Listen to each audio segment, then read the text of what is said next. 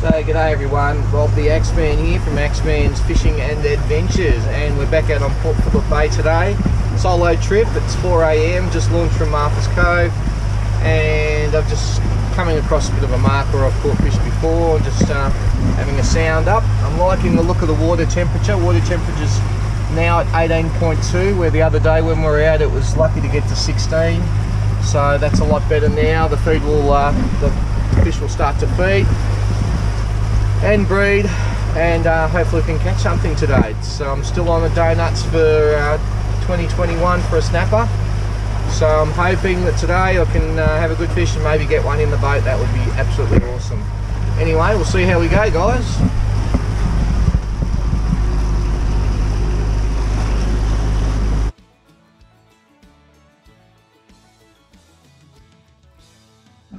Alright everyone, so I'm out off uh, Mount Martha, probably between 18 and 20 metres of water. Um, picked up a bit of bait from the Dandenong market yesterday. I've got some fresh garfish, some pillies, uh, silver whiting, and I picked up a squid too. I've got some fresh squid of my own that I've caught.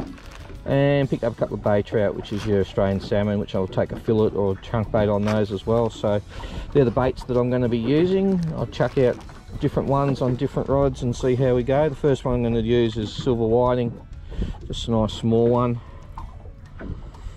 So in through about the middle of the fish there, pull it right the way through.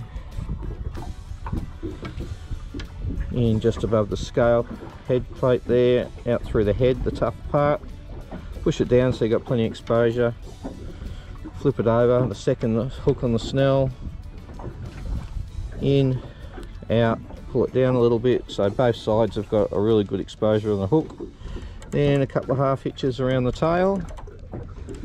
This one's just got a small ball sinker on it. So it will just float down nicely. And we'll see how we go. First one in the water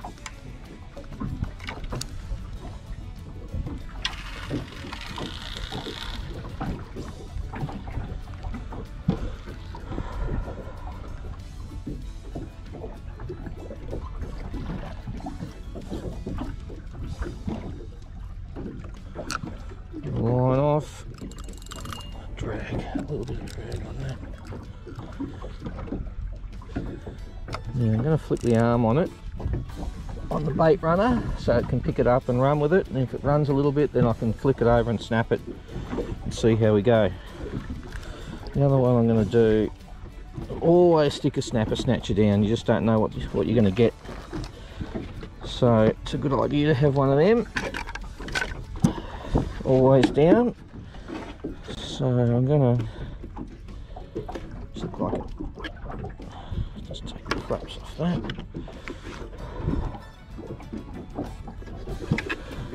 Yeah, just get some nice wide, about an inch wide rings.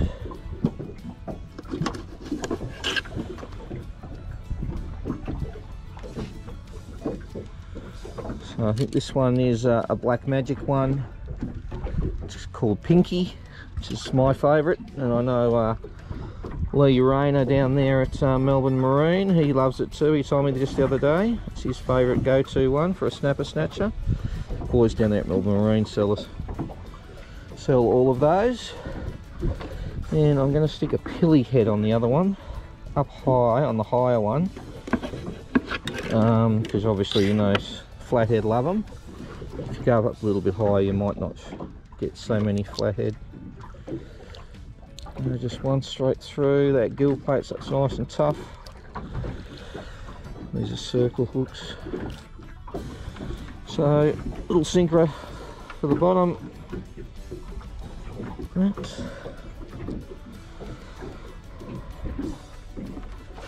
With the snapper snatchers, I like to drop them off the side of the boat and just wind them so they're you know half a meter off the bottom.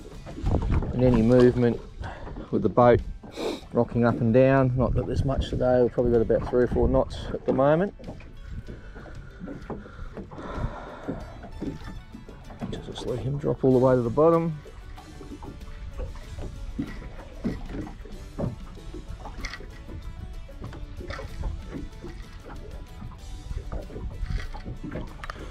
pretty good there.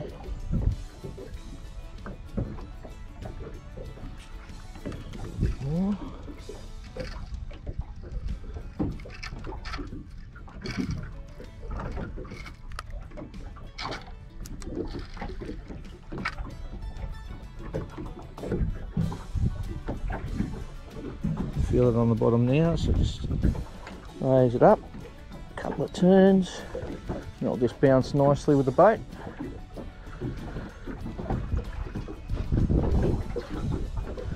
Alright, so we've got a bit of activity down there on the bottom. When you see that wavy line like that, it's usually a fish just sitting underneath us. Um, you get the arch when it moves through, but when you get a wiggly line like that, I'm informed that that is a fish sitting underneath us. So what are we doing now? Some burley in. A couple of pillies. See if we can keep it around. Or hook it up even better.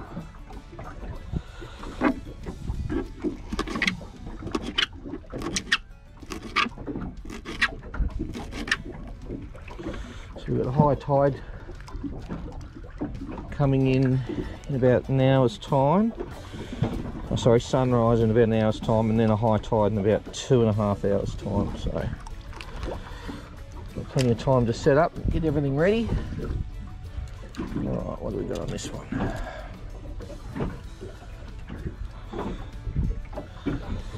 Yeah, it's a single hook. What I might put on the single hook is a bit of the squid head, about half the squid head.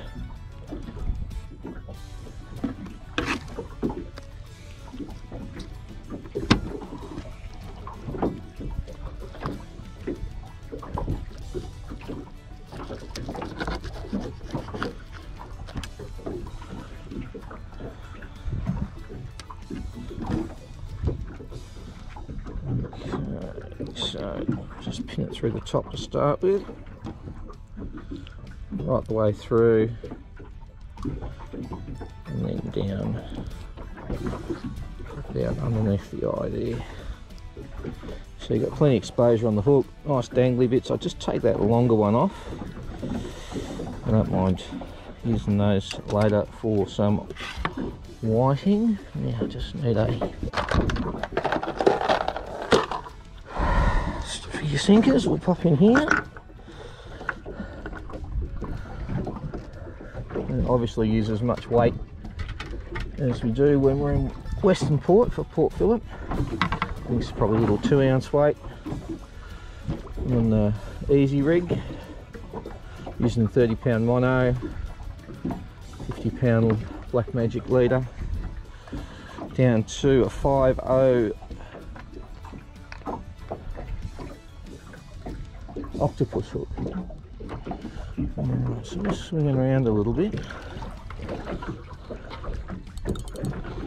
Go out wide with this one. Now back it.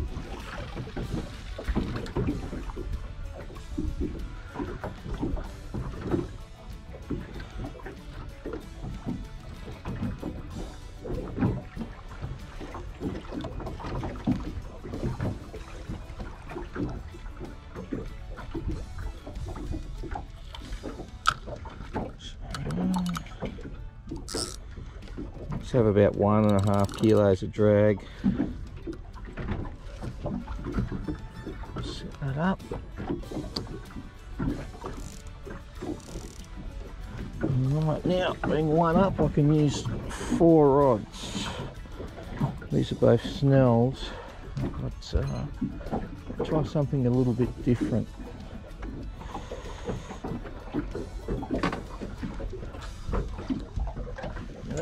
Out way.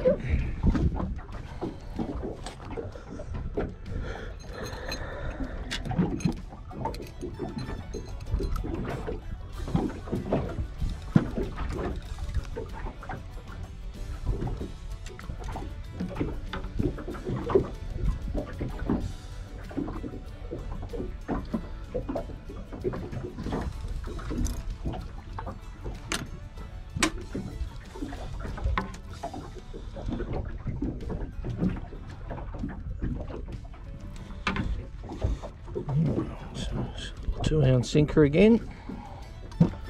Easy rig. And going to use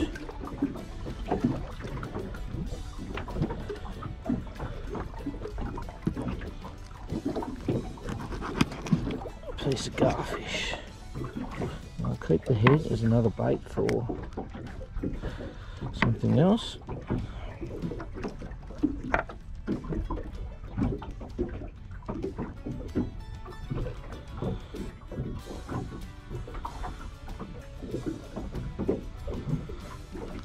Do love catching garfish and eating them. They are a good bait too, the snapper. Pull that right the way through.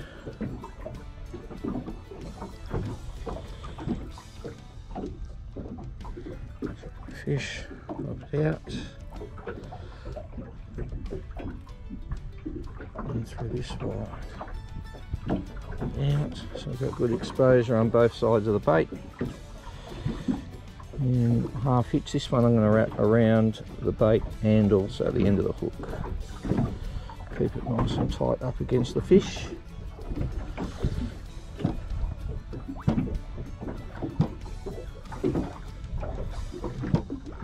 There we go. Good exposure both sides of the bait. If I was out there I'd eat it. Alright, let's get him out. Rods are going put him straight out the back at the moment. So it's nice to have a bit of a fan with your rods. Spread them out.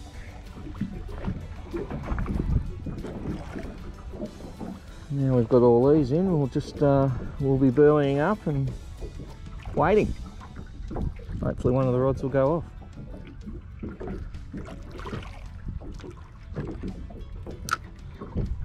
Alright, so when I'm burling up, there's a few different ways and methods that I use. I've got this one here, which I'm finding really, really good. It's a 100% um, pure pilchard, but it's solid. Like you make it up into little balls, and it will hold together and it will break up as it slowly sinks down. I find it good in the burley pot as well, because it will stay solid for a while. And then it'll break up slowly as it sort of stays in the water. So yeah, I'm finding that one quite good. I'm very happy and I'll continue to use that one. One I've just started to use, trying it out this season, is the red bullets. Fish on, you know, I love the fish on. So I'm probably a little bit disappointed in these in the fact that, as you can see, there's a lot of powder in there great if you're gar fishing, but if I'm fishing for snapper, it's, uh, like this bucket, I don't know if it's just the way it is, but this bucket seems to have a lot of just the broken up pellets. So I'm a bit disappointed in that one and don't know if I'll try it again, but anyway, we'll see. I'll speak to someone at the shop and see if it's supposed to be like that. Saying that, the snapper that we caught the other day with Cole out here did have some of these pellets in its guts. So, snapper do eat them.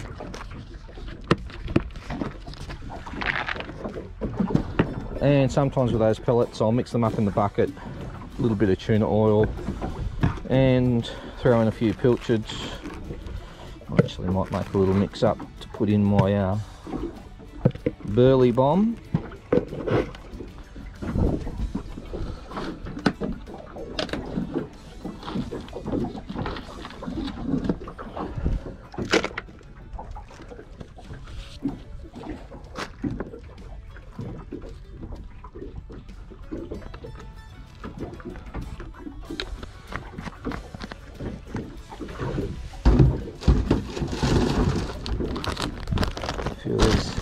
Pellets too to help soak up that oil.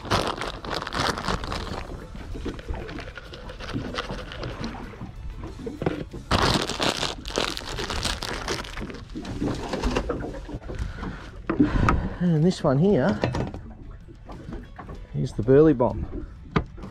Good thing about this is if you're not throwing it in the water, it's not drifting in the current, you're dropping it off straight underneath the bait where you want it.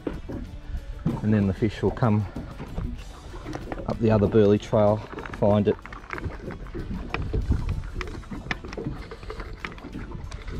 You see that a few pellets bit of oil a few pillies nice little mix.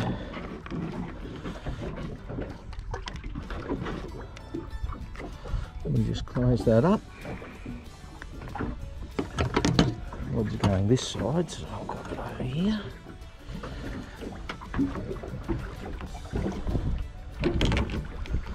Straight down. Let it run its course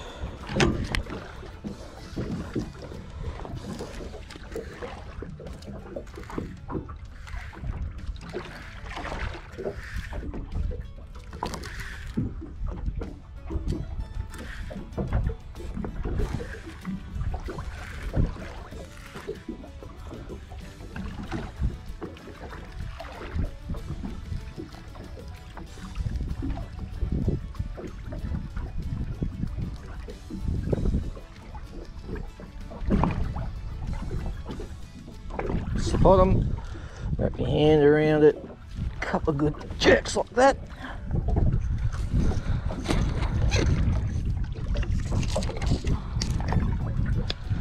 That will hopefully release it. And have it right down underneath the boat, all that burley. Get the fish to come underneath here would be great. So it looks like we've just got a bit of sunrise happening now. As much as possible due to the cloud, cloud cover.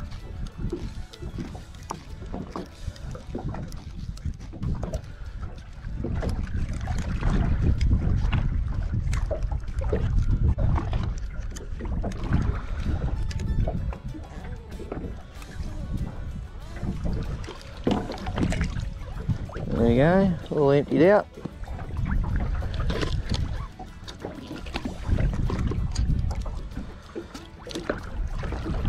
Now it's time to sit back and watch these rods.